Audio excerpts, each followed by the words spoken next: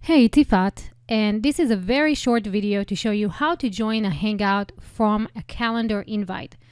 If we're communicating in email and I created an event for us, a calendar reminder so that we don't miss it, I usually attach a Hangout link to it.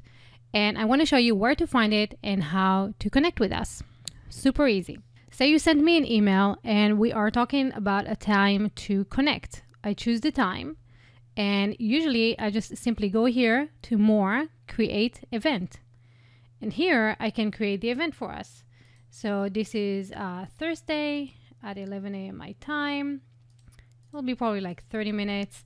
I'll remove the people who are not supposed to be here and I'll set up the subject of the email so you know what it is about.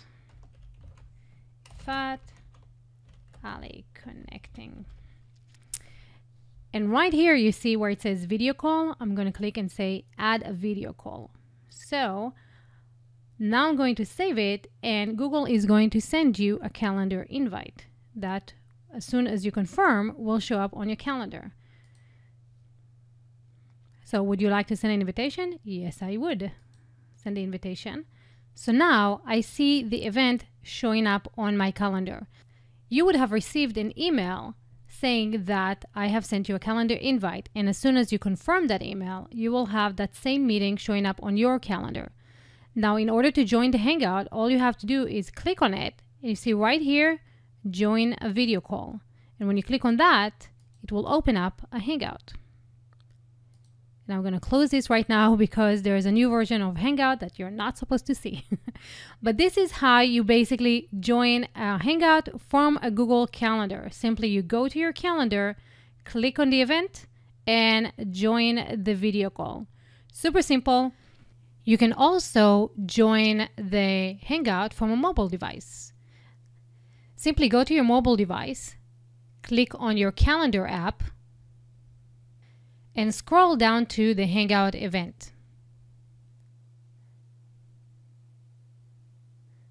Click on that, it will open up and you'll see join the Hangout right here. When you click on join the Hangout, you'll be in the Hangout.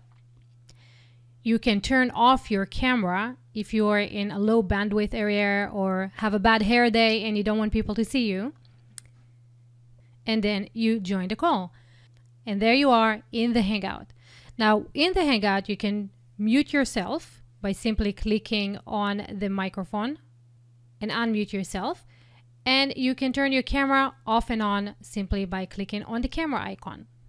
When you end the Hangout, click on the little Hangout icon and you'll be back in your calendar. Hope it was beneficial for you and uh, I'll see you on the Hangout. See you then. Bye.